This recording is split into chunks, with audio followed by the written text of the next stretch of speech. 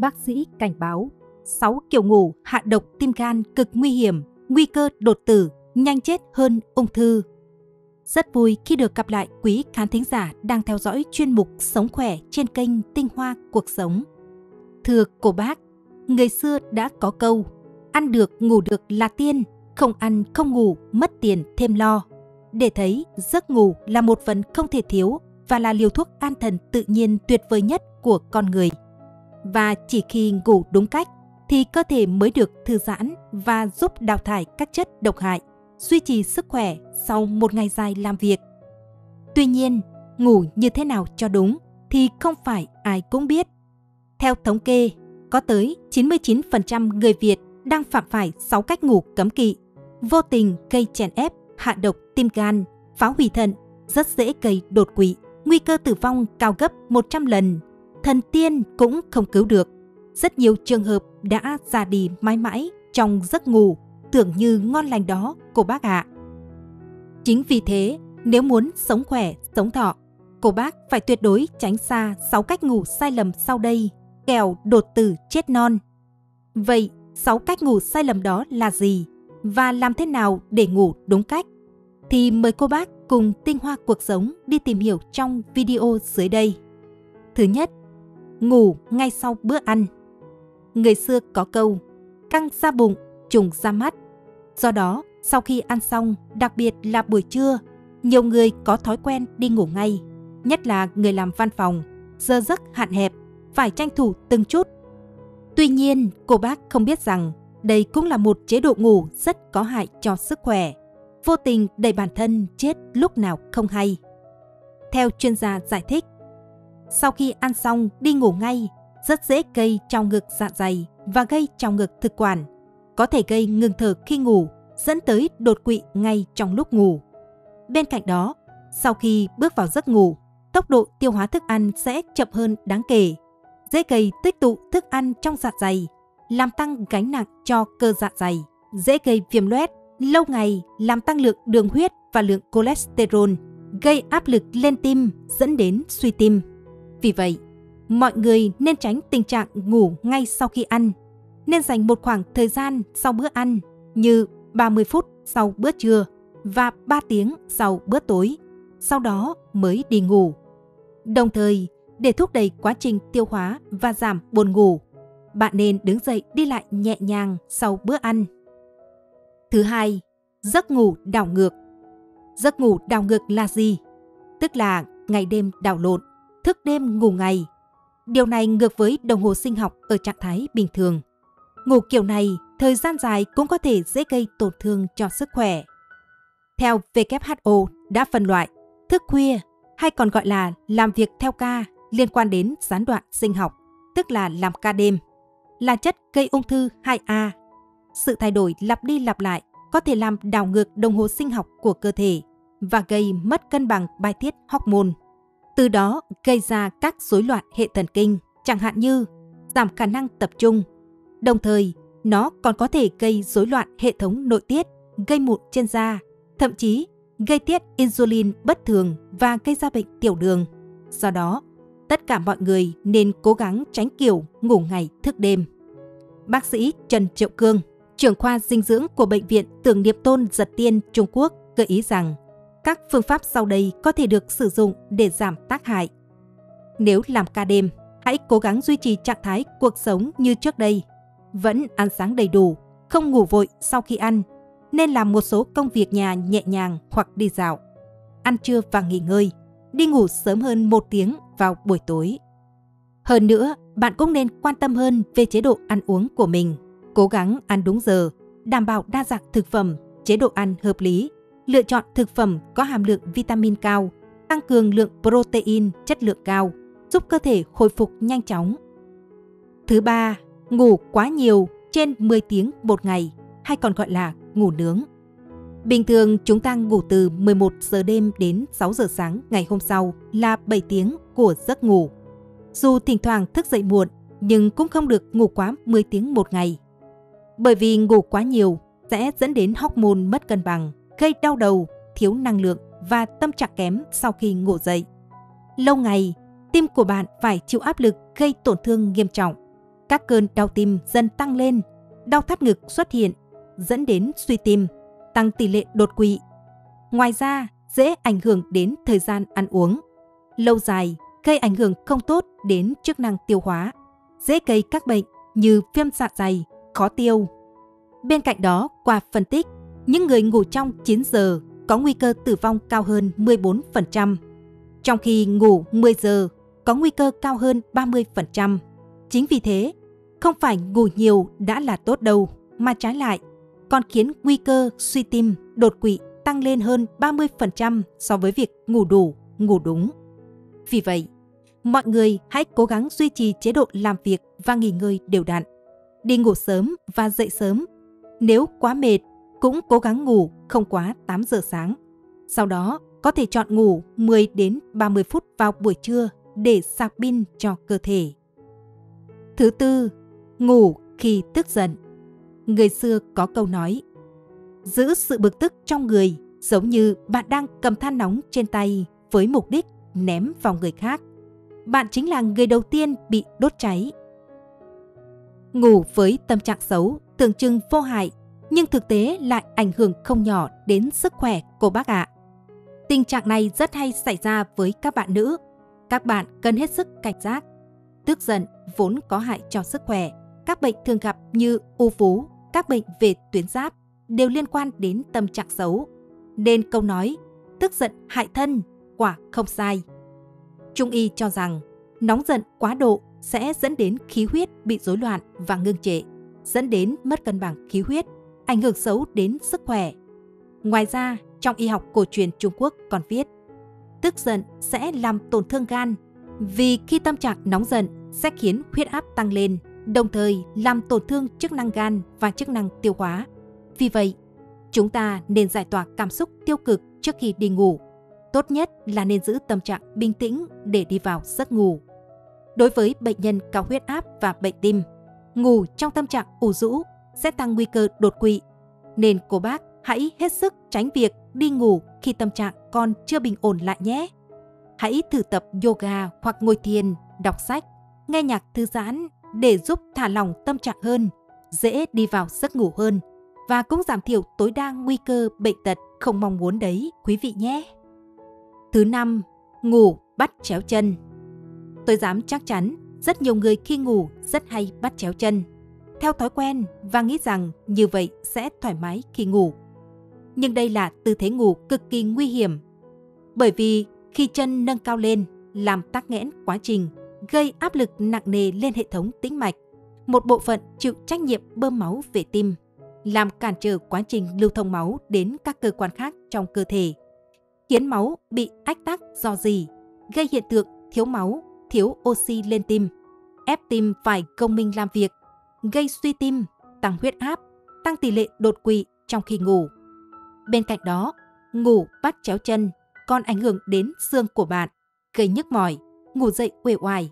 Thêm vào đó, tư thế này còn khiến quá trình tiêu hóa của bạn khó khăn hơn, dễ gây rối loạn tiêu hóa trong ngực dạ dày.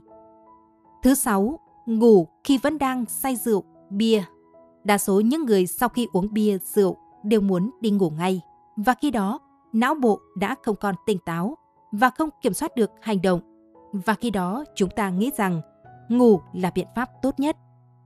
Tuy nhiên, theo một chuyên gia từ Đức đã quan sát sự nguy hiểm của việc uống rượu bia trước khi đi ngủ trong 15 năm và đưa ra kết luận rằng uống rượu xong đi ngủ ngay có thể gây triệu chứng ngừng thở tới 2 lần trong lúc ngủ, khoảng 10 giây mỗi lần. Và chỉ cần 10 giây thôi là đã có thể gây ra tổn thương lớn cho cơ thể. Trong đó, dễ thấy nhất là tổn thương đến hệ thống mạch máu, làm tăng huyết áp. Một khi huyết áp tăng cao sẽ liên lụy đến tim, dẫn đến tăng nhịp tim, rối loạn nhịp tim và cuối cùng là suy tim, đột quỵ hết sức nghiêm trọng. Không chỉ vậy, những người thường xuyên uống rượu bia cũng có tỷ lệ mắc các chứng bệnh về rối loạn giấc ngủ cao hơn người bình thường rất nhiều. Thậm chí còn làm trầm trọng thêm tình trạng các bệnh khác mà họ đang mắc phải nếu không thay đổi thói quen ăn uống sinh hoạt. Vì thế, sau khi uống rượu, chúng ta không nên đi ngủ ngay mà hãy nên rửa mặt bằng nước lạnh, sau đó ngồi nghỉ ngơi. Rất nhiều trường hợp bị trúng độc rượu quá nặng mà không hay biết. sau đó đi ngủ luôn có thể dẫn tới tử vong mà không ai biết. Vì vậy, khi gia đình bạn có người uống rượu say, cần phải có người ở bên cạnh để chăm sóc, giúp họ giải rượu, cho họ uống ít nước lọc hoặc nước mật ong để giúp họ tỉnh táo hoàn toàn. Trước những nỗi lo ngủ sai cách sẽ ảnh hưởng to lớn đến sức khỏe, gây ra các bệnh nguy hiểm như huyết áp, tim mạch, thậm chí đe dọa trực tiếp đến tính mạng, chết bất đắc kỳ tử lúc nào không hay. Sau đây, kênh Tinh Hoa Cuộc Sống chia sẻ tới quý cô bác hai tư thế ngủ vừa dễ ngủ vừa sống lâu, sống thọ, bệnh tật không dám ghé thăm, tốt bằng 100 triệu thuốc đắt tiền. Thứ nhất, nằm nghiêng về bên trái. Nằm ngủ nghiêng thực sự là tư thế khá tốt, đặc biệt là nghiêng về bên trái. Kiểu ngủ này không chỉ giúp giảm tiếng ngáy mà còn rất có lợi cho hệ tiêu hóa, thậm chí là kiểm soát chứng ợ nóng. Một nghiên cứu đã theo dõi 10 người trong 2 ngày. Ngày đầu tiên, những người tham gia nằm ngủ nghiêng bên phải sau khi tiêu thụ một bữa ăn nhiều chất béo. Vào ngày thứ hai, họ chuyển sang tư thế nằm ngủ nghiêng về phía bên trái. Mặc dù chỉ là một nghiên cứu nhỏ, nhưng các chuyên gia đã phát hiện ra rằng tư thế nằm ngủ nghiêng về bên phải làm tăng chứng ở nóng và trào ngược axit. Chính vì những lợi ích này mà việc nằm ngủ nghiêng sẽ là tư thế ngủ đúng và tốt nhất cho những đối tượng như phụ nữ mang thai, người cao tuổi, người thường xuyên bị đau lưng, người bị trào ngược axit dạ dày, người thường ngủ ngáy hoặc mắc chứng ngưng thở khi ngủ. Tuy nhiên, nhược điểm của kiểu ngủ nghiêng trái là gây tê cứng ở vai, cũng như dẫn đến căng cứng hàm bên bị tì đè. Nếu bạn thích ngủ nghiêng, hãy nhớ chọn một chiếc gối nằm chất lượng để tránh đau cổ và lưng. Ngoài ra, đặt một chiếc gối giữa hai chân cũng sẽ giúp căn chỉnh hông tốt hơn, phù hợp với đường cong tự nhiên của cuộc sống. Bạn có thể ngủ nghiêng bên nào tùy ý, miễn sao cảm thấy thoải mái nhất. Mặc dù đây là kiểu ngủ tốt, nhưng đừng ngại chuyển sang tư thế nằm ngủ khác nếu thấy mỏi hoặc không phù hợp. Thứ hai, ngủ ở tư thế nằm ngửa. Nằm ngửa khi ngủ là tư thế phổ biến thứ hai đem lại nhiều lợi ích không kém so với nằm nghiêng. Trong đó bao gồm các lợi ích như tư thế nằm ngửa giúp cho cột sống được thẳng hàng và phân bổ đều trọng lượng cơ thể. Nằm ngửa khi ngủ sẽ ngăn ngừa các cơn đau nhức thường xảy ra ở cổ hoặc lưng. Nếu bạn bị đau cổ, sử dụng thêm gối hỗ trợ giúp nâng cao cổ hơn so với đầu sẽ là sự lựa chọn tốt nhất cho giấc ngủ. Tình trạng viêm mũi dị ứng hoặc nghẹt mũi có thể được hạn chế khi bạn nằm ngửa trong lúc ngủ. Đặc biệt là khi bạn kê thêm gối cho phần lưng trên để giúp đường thở dễ chịu hơn và giải thoát được nước mũi. Làn da của bạn cũng được hưởng lợi khi ngủ ở tư thế nằm ngửa. Vì lúc này, mặt của bạn hướng lên trên và không bị chen ép bởi gối hoặc đệm.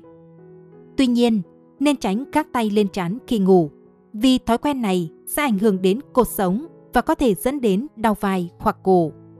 Nhìn chung, nếu bạn là người bị đau cột sống, thắt lưng, đau cổ hoặc là người mắc chứng nghẹt mũi thì việc nằm ngửa khi ngủ sẽ là tư thế ngủ đúng và phù hợp nhất để cải thiện các vấn đề này. Ngoài việc ngủ theo hai cách tốt cho sức khỏe như trên, thì quý vị cũng nên dành 3 phút mỗi tối để làm 3 việc sau trước khi đi ngủ. Sẽ giúp gan thận thải sạch độc tố, ung thư bệnh tật cỡ nào cũng tránh xa, sống thọ tới cả 100 tuổi. Đầu tiên là đi ngủ trước 11 giờ tối. Các nhà khoa học đã nghiên cứu và chỉ ra rằng thời gian tối ưu nhất để lên giường đi ngủ là từ 9 đến 11 giờ tối. Bởi cơ thể chúng ta cần khoảng thời gian tĩnh để thư giãn, thả lỏng rồi mới bắt đầu đi vào trạng thái ngủ sau 1 đến 2 tiếng. Và với khung giờ ngủ điều độ hợp lý như vậy, các cơ quan nội tạng mới có thời gian để làm nhiệm vụ thải độc. Từ 9 giờ đến 11 giờ tối là thời gian hệ miễn dịch đào thải độc tố. Chính vì vậy, quý vị nên vận động nhẹ nhàng để cơ thể nghỉ ngơi, thư giãn bằng cách nghe nhạc, đọc sách cho dễ chìm vào giấc ngủ. Tiếp theo, từ 11 đến 1 giờ sáng là lúc mà gan thải độc và chỉ khi chúng ta ngủ ngon, ngủ sâu giấc thì quá trình thải độc của tạng gan mới diễn ra thuận lợi. Còn từ 1 giờ đến 5 giờ sáng là thời gian đào thải của túi mật và phổi. Và cuối cùng, từ 5 giờ đến 7 giờ sáng hôm sau là lúc mà đại tràng và hệ bài tiết lọc thải cạn bã. Đây cũng chính là lý do khiến quý vị cảm thấy buồn đi vệ sinh vào thời điểm này. Do đó, để bảo vệ tạng gan nói chung và duy trì tuổi thọ, sức khỏe bền lâu, thì việc đi ngủ sớm, dậy sớm, có một đồng hồ sinh học hợp lý sẽ giúp quý vị luôn giữ được tâm trạng cởi mở, tích cực, lạc quan và khỏe mạnh, làm tiền đề cho việc sống trường thọ tới hơn 100 tuổi. Thứ hai là xoa bóp da đầu và chải tóc trước khi đi ngủ. Nhiều cô bác đang tự hỏi rằng tại sao phải chải tóc trước khi đi ngủ? Chỉ cần chải tóc sau khi thức dậy cho gọn gàng là được rồi mà, có đúng không nào? Thế nhưng quý vị hãy hình dung như thế này nhé. Não bộ không chỉ là cơ quan chỉ huy cao nhất của con người, mà nó còn là nơi chứa rất nhiều huyệt đạo quan trọng. Y học Trung Quốc đã chỉ ra rằng việc hình thành thói quen massage da đầu cũng như chải tóc trước khi đi ngủ sẽ giúp kích thích các huyệt đạo này, ngăn ngừa chứng mất ngủ và cải thiện khả năng miễn dịch cho cơ thể. Dù cô bác dùng lược chải tóc hay chỉ đơn giản là bới tóc bằng tay thì đều đem lại những tác động massage, kích thích da đầu để làm giảm căng thẳng và giúp cho máu lưu thông lên não tốt hơn.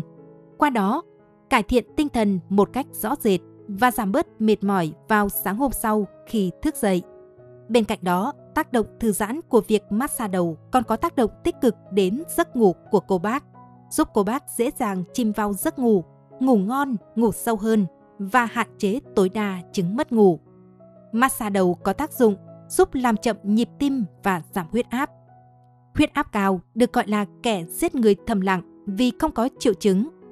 Massage là một phương pháp tự nhiên để giải quyết các vấn đề về huyết áp cao mà không gây ra bất cứ một tác dụng phụ bất lợi nào cho cơ thể. Do vậy, quý vị hãy cứ yên tâm thực hiện động tác này thường xuyên nhé, vì chỉ có lợi chứ không có hại gì đâu. Bên cạnh đó, massage da đầu và chải tóc thường xuyên theo các nghiên cứu còn có thể ổn định huyết áp, không ngoài việc giảm mức độ hormone căng thẳng, giảm khả năng suy thận hoặc đau tim. Một lợi ích nổi bật khác mà việc xoa bóp da đầu đem lại đó chính là kích thích mọc tóc và giúp tóc chắc khỏe, dày mượt hơn. Thứ ba, đó là xoa bụng. Thay vì nhìn chăm chăm vào màn hình điện thoại, thì vì sao quý vị không dành thời gian đó để thực hiện những động tác đơn giản, vừa đỡ hại mắt, vừa giúp cho mình dễ dàng ngủ ngon hơn? Trên các trang báo, mạng xã hội hiện nay, có rất nhiều các bài tập massage đa dạng, giúp dễ ngủ hiệu quả. Nhưng nếu quý vị không có nhiều thời gian để thực hiện hoặc là ngại làm theo thì đơn giản hơn là quý vị hãy thử động tác xoa bụng cực kỳ dễ dàng này nhé.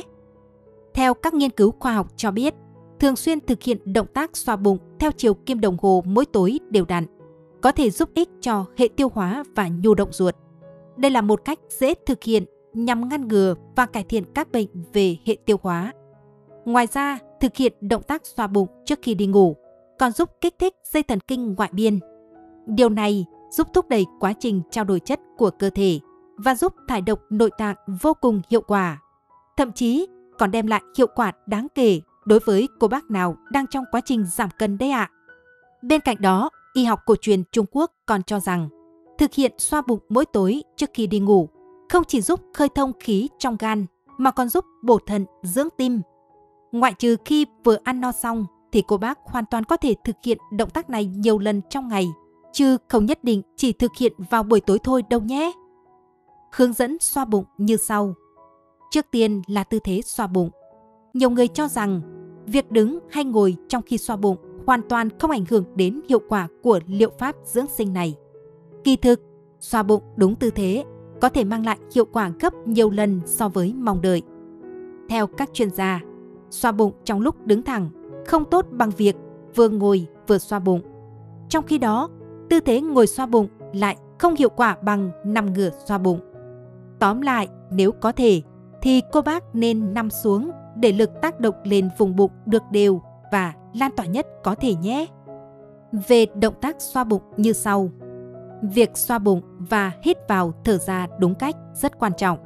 Trước khi thực hiện, chúng ta nằm ngửa, hít sâu 9 lần, sau đó đem tay phải đặt ở trên rốn, tay trái ấn lên mu bàn tay phải.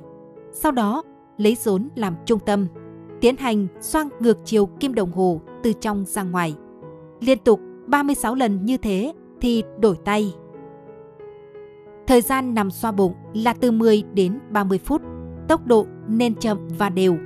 Có người xoa 1.200 vòng trong 35 phút, tức là hơi nhanh. Đầu tiên khi xoa bụng, tốc độ cứ 2 đến 3 giây xoay một vòng. Trong vòng 30 phút nên xoa trong khoảng từ 600 đến 900 vòng là ổn định. Nếu xoa bụng quá nhanh, sẽ khiến cô bác dễ mỏi tay và mất sức. Xoa bụng không nên dùng lực quá mạnh, nên xoa nhẹ nhàng. Khi xoa, bình thường sẽ xuất hiện cảm giác nóng ở phần bụng, cảm giác đói hoặc là thoát khí. Đó là những phản ứng bình thường, không cần lo lắng. Chỉ cần kiên trì thực hiện xoa bụng trong một tháng, cô bác sẽ cảm nhận được sự thay đổi rõ rệt trong cơ thể. Xoa bụng sẽ giúp tiêu trừ táo bón, loại bỏ các tổn thương dạ dày, giảm đầy hơi, chứng bụng, phòng ngừa cao huyết áp, viêm tuyến tiền liệt, bệnh mạch vành, bệnh tim thứ phát, bệnh phổi, tiểu đường, viêm thận. Đặc biệt, có thể giảm mỡ bụng, khiến cơ bụng săn chắc. Trong phần tiếp theo của video, xin mời quý vị cùng lắng nghe một chuyện ngắn có tựa đề Nơi cơn bão ngang qua. Thời sinh viên, cô không quá xinh đẹp, giỏi giang, nhưng chẳng hiểu sao có biết bao chàng trai vây quanh. Cô vẫn thắc mắc như thế khi nhận được những bó hồng đỏ thắm, những món quà lãng mạn từ các fan hâm mộ. Bạn bè cô thì quá rõ và đôi phần canh tị bởi cô có giọng hát hay và tài văn chương. Lên giảng đường về cặp trời mưa, vậy là cô sáng tác được hẳn bài thơ dài về những hờn giận vô vơ của tình yêu sinh viên, lúc nắng, lúc mưa bất chợt. Những hôm đám bạn ê cổ ra thức đêm để ôn thi. Giờ giải lao, cô ra ban công ký túc xá và viết một bài tản văn thật dài vì nhớ và thương mẹ. Tản văn viết vội vàng, chứa tràn cảm xúc trên tờ giấy A4, được truyền tay khắp cho bọn bạn. Đọc xong, ai cũng ứa nước mắt, nhớ về mẹ mình ở quê đang oằn lưng bên bờ sôi ruộng mật, chắt chiu nắng mưa để dành tiền mỗi tháng gửi lên cho con. Ai cũng nói, tính cô đa cảm hay suy nghĩ vẩn vơ, rồi xét khổ cho mà xem. Lúc ấy cô tặc lưỡi, sướng khổ có số, lãng mạn và đam mê văn chương nào có tội. Mỗi lần khoa tổ chức hội diễn văn nghệ, không thể vắng mặt cô. Giọng hát cao trong ngần của cô vang lên, bao chàng pháo tay đổ lên giòn giã. Cô cứ thế, miệt mài cặm cụi học, làm thêm, sống phơi phới suốt thời sinh viên nghèo khó. Cô cứ thế, chưa nhận lời yêu của một ai. Ra trường, cô về công tác tại huyện nhà. Cô nhanh chóng được nhiều người đánh mối, rồi gặp gỡ, rồi ra mắt gia đình hai bên và cưới. Nhiều khi cô cũng chẳng hiểu chồng cô bây giờ cô có yêu nhiều không. Mỗi khi bên cạnh chồng, cô phải gạt bỏ hết những lãng mạn, nhóng nhẽo. Thay vào đó là sự già dặn, sống phải biết hy sinh cho gia đình. Cô bây giờ tự thấy mình đôi lúc như người mẹ của hai đứa con nhỏ và cả một đứa con lớn. Chồng cô làm công việc cơ khí, thu nhập khá nhưng vất vả và bó hẹp thời gian. Đã lâu lắm rồi, kể từ ngày cưới, cô chưa được chồng trao tặng một bó hoa. Cô cũng chẳng nhớ lần cuối mình viết một bài thơ hay tản văn là khi nào. Sinh nhật cô, anh chắc cũng đã quên rồi. Mẹ của hai đứa con còn nhật nhẽo gì, tổ chức cho con là được rồi. Anh vẫn thường bảo thế. Vâng, cô đã ngoài 30, gái 30 tuổi đã toàn về già. Cũng vì tính gia trưởng của chồng, bấy lâu nay cô đi muộn về sớm chẳng mấy khi tham gia hoạt động gì của cơ quan, đoàn thể. Cả nhà chỉ xung vầy vào bữa tối bên mâm cơm. Nhưng do công việc, chẳng mấy khi anh về sớm. Hôm nào cũng là ba mẹ con ăn cơm. Thằng út thì luôn miệng rục rã. Mẹ, sao bà chưa về ăn cơm? Cho con ăn xong, rửa bát, dọn dẹp đâu đấy, anh mới về. Cũng chẳng mấy khi người anh nồng nặc mùi rượu bia. Cũng chẳng khi nào anh đánh mắng vợ Vậy nên, cô chẳng có cớ gì để mà giận chồng, để mà không làm tròn bổn phận làm vợ, làm mẹ. Vậy nhưng cô vẫn buồn, vẫn thấy cô đơn trong chính ngôi nhà mình.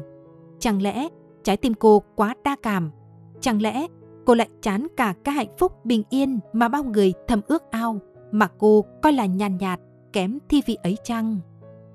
Tình cờ gặp anh ta trên Facebook sau vài lần trò chuyện tâm đầu ý hợp, rồi gặp gỡ cô lại thấy cuộc sống hiện tại của mình với chồng sao quá tẻ nhạt. Anh ta mang đến tất cả những gì mà cô đang thiếu. Kỷ niệm ngày nọ, ngày kia, anh ta gửi lời chúc mừng thật ý nghĩa trên Facebook, trên điện thoại, gửi cả điện hoa để tặng cô. Sinh nhật cô, anh ta còn viết hẳn một bài thơ để tặng. Đi công tác xa, nơi có phong cảnh đẹp, anh gửi ảnh về chia sẻ để cô cùng ngắm và bình luận. Anh ta cũng cổ vũ, khuyến khích cô hâm nóng lại cảm xúc văn chương. Bận rộn, mệt nhọc, nhưng hôm nào cô cũng thức đến khuya để tâm hồn lắng động, để viết từng dòng thơ tản văn run rẩy. Rồi vui mừng gửi, chờ đợi lời bình luận của anh ta. Chỉ như vậy thôi, nhưng làm trái tim cô xốn sang. Tình yêu tưởng như thật mà lại như hư ảo khiến cô hạnh phúc bao ngày. Và cô mong, ngóng biết bao được gặp mặt anh ta ngoài đời, được ngắm khuôn mặt trầm tư, mái tóc phiêu bồng nghệ sĩ, được nghe giọng nói, giọng đọc thơ ấm áp của anh. Thế nhưng đến phút cuối, cô lại cởi bỏ váy áo mà mình đã chuẩn bị hàng giờ cho cuộc hẹn, lặng lặng cất nó vào tận trong góc tủ, rồi cô lấy khăn lau sạch lớp trang điểm cầu kỳ. Lỡ hẹn với cô chiều nay, anh ta gọi, nhắn tin biết bao cuộc điện thoại nhưng cô không trả lời. Cô biết anh ta chỉ ra đây công tác đúng một ngày rồi trở lại vào Sài Gòn. Mấy ngày nghỉ ốm vì suy nhược cơ thể, cô phải chuyên nước tại nhà. Mỗi khi nhìn chồng đi muộn về sớm, lúc nào cũng lụi cụi cầm nước phục vụ ba mẹ con. Cô mang trong mình bao nhiêu cảm giác tội lỗi. Tiếng yêu từ trái tim đã chậm lại để cô suy ngẫm kỹ hơn về phút sau lòng của mình. Bạt đi mấy hôm, anh ta gửi tặng cô một bài thơ, đại ý thể hiện tình cảm và mong cô đón nhận. Anh còn thổ lộ, hôm hẹn gặp cô đó, anh muốn nói tất cả nỗi lòng, trao tặng cô một món quà thể hiện tình yêu của mình, nhưng cô đã không đến. Cô im lặng, trái tim cố nén không ngăn được sự thổn thức. Tin nhắn cô soạn cẩn thận cho anh ta, nhưng rồi lại nhanh chóng ấn nút xóa. Cô rẽ vào quán ăn đêm, Tình cờ cô gặp vợ anh ta chính trong đất sai thành hoa lệ này. Có lẽ vì hàng ngày bươn trải, vất vả với quán ăn đêm nên chị ta gây gò, mắt trũng sâu. Ấn tượng của cô là thái độ chị ta rất thân thiện, luôn niềm nở và phục vụ khách hết lòng. Cô chợt nhớ tới lời anh ta nói.